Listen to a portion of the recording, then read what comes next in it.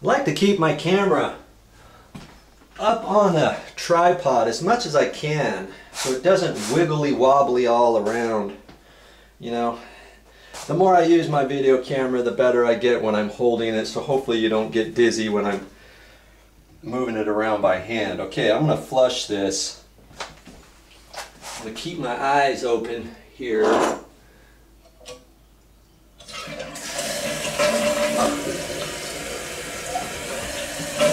First off, I know I need to shorten that flapper valve.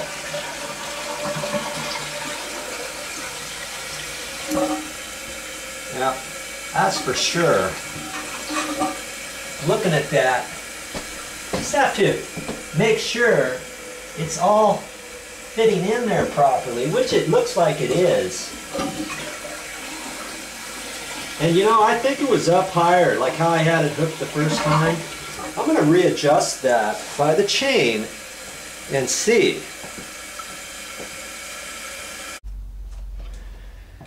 I'm trying to get inventive with my tripod. I got it at all different types of angles sitting on top of the toilet seat and stuff because I wanted to show you the flapper valve, what happens with that.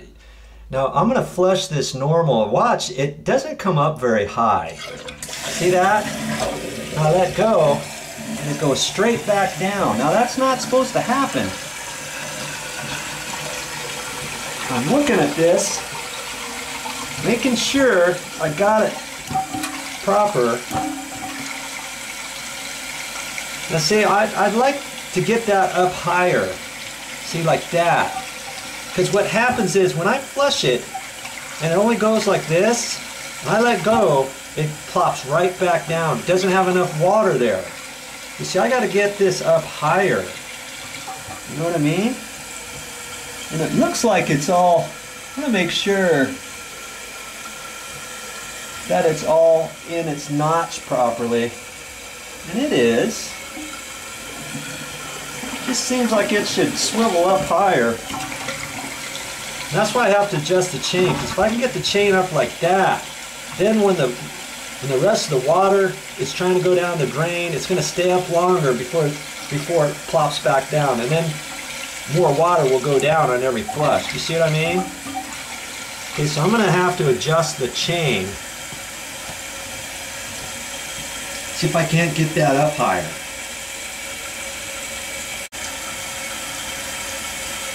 I've got this readjusted now. I think that's where it was, on top like that, not on the bottom. That raised it up a little bit. But you know what I'm thinking? I'm not sure. Remember that rubber gasket that I put in? It was a little bit thicker than the, than the other old one that was in there, which means this is higher up to the chain. So that would have dropped down a little bit lower. Okay, so I'm going to go ahead and adjust the chain right up here, up a couple rungs, I think. What I need to do. So I can get that flapper up higher.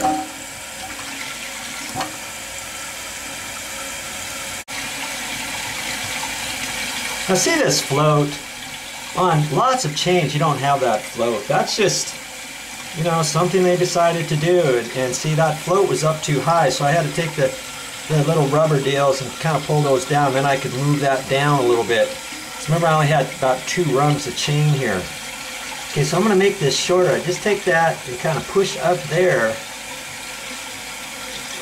Right? And I got to take that off. Now I'm going to put it down a little bit lower about three, let's say. We hook that like that. You see? Now I can put it back on here. What it was before. See how much higher that goes? Look at that. That's, I think, about what you want. Now we're gonna, I'm gonna let this fill up with water again. Get right back to you. We'll try another flush.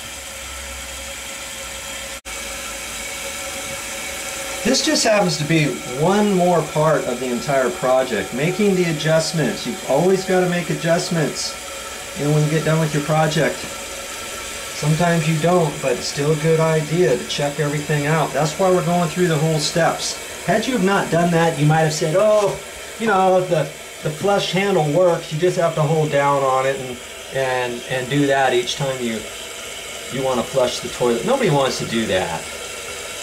You know, just get it done right. And uh, then you don't have to explain anything to anybody. Okay, now all I should do is flush the handle and let go of it just like a normal flush. Hey, look at that. Something, this flapper, I wonder, I wonder if this flapper has always done that. You know what I mean? It's, it's certainly not supposed to go that easily back down like that.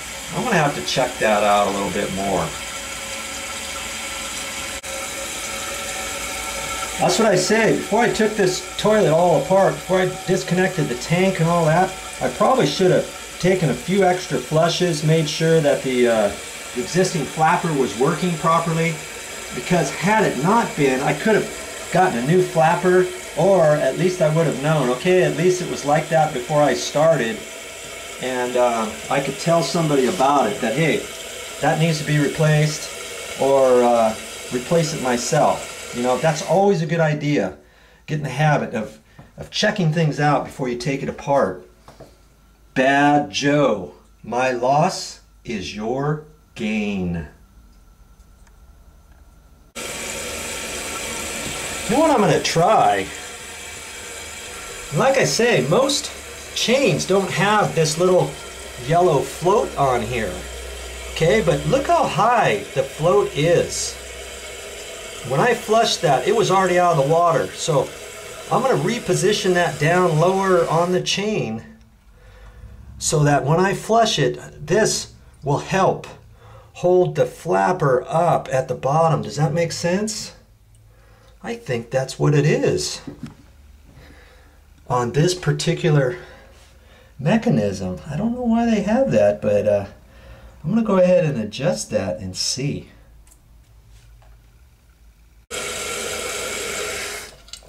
Okay, I've got that float way down in the water this time. And I might even have to move it down further. I don't know if you can tell that that's a lot further in the water than it was before. Let's see if that helps. No, it's still not doing it. I think I'm going to have to just um, put that, put this flap down even further. It's kind of hokey how that works. I'm going to try it. I'm certainly going to try it. You know, this should work way better than it is.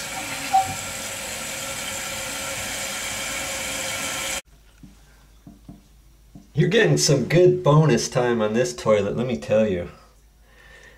Now, I lowered this down, but I think it's something else, and I think I can fix it. But, you know, like I say, most places, most flappers don't have this ball. It's just a foam ball. And what that does is when you flush, the flapper paddle comes up and then the foam ball kind of holds it up longer to allow more water to go down in there. But on this particular flap, I don't know if you can see it or not, but there's a red ring that slid over this pipe, over the white pipe and went down, and that's part of the flapper valve. Do you see that? Kind of hard to see, but that that is above these ears, and there's two ears, one right there and one over on this side right over here. And some have this ring and you put the ring down too. The ring really doesn't do anything. But I think this ring needs to be underneath those ears. And whoever installed this didn't know that. Now another way you can do it is on both sides of that round ring, there's a cut mark. Guess I better pull that up and show you, okay?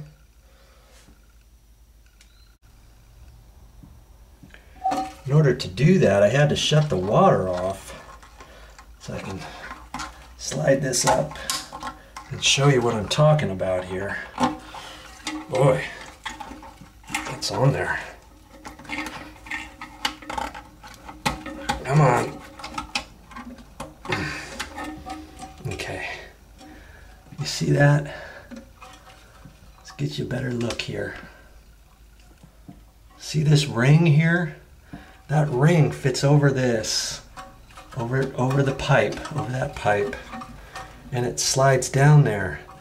Well, you don't necessarily have to have this. Usually on these, if you get a ring, you might your your pipe might not fit it, might be bigger or something. Well, on both sides of this, it says cut and cut. You can snip this out of there.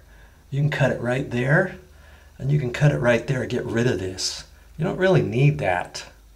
Okay, now I could cut that, but let's see if I can't fix this the way it is. So I'm going to slide it down there, and where the prongs are, so you just hook the hook, hook the little ears over the prongs down low on this pipe. Now I'm going to stretch this out of whack, you know, like a rubber band this way and get underneath those ears. Then hook this. Because what's happening is this is only swiveling from right there and it's not going up high enough. This whole thing needs to do this sort of business, see? Okay, so I'm going to slip this back down there and see if I can't get it.